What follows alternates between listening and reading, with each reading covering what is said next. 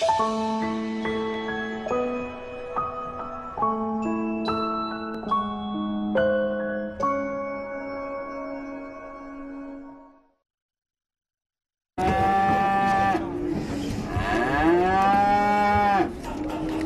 万一个，两万四，两万四有点高啊，找两万一吧，再带个加点儿。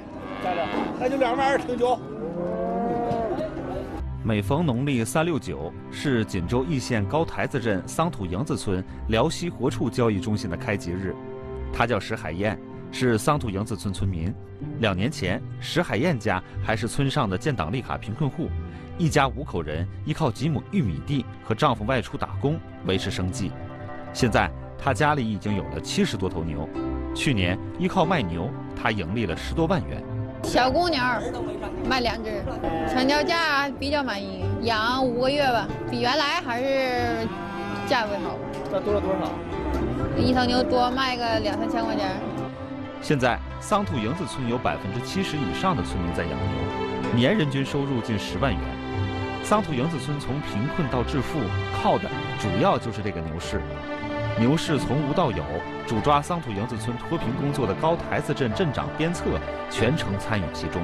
咱桑土营村呢本身就是有这个肉牛养殖的基础，那北街呢蒙东加东三省，南街呢华东乃至于华南，承载了这个中转站的作用。村里的这个决定成为桑土营子村发展的转折点，立好了项目，镇里把可行性报告上报到县扶贫办。经过层层讨论，最终申请到了两百万元扶贫款，村里又凑了三百多万元，把牛市建了起来。牛市建好了，还得找个牛人。韩松林，土生土长的村里人，年轻时在外创业，却始终牵挂着村里的发展。回到村里后，因为做事果断、敢闯敢拼，被广泛认可。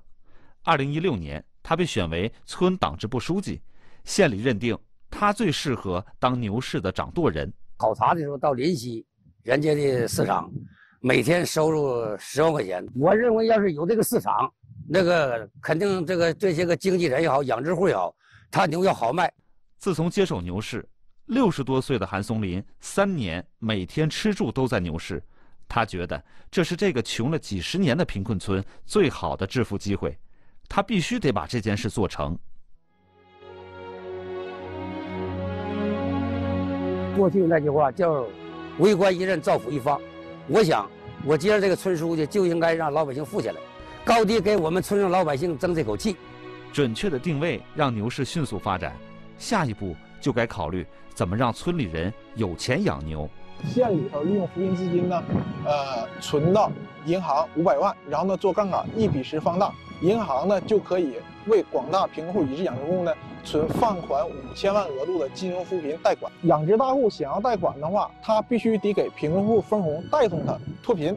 就是咱有些个刚起步的户，假设说他的资金不足的情况下，银行借他钱了，那么我每一个，呃，闲余时间要按家按户的做他们工作。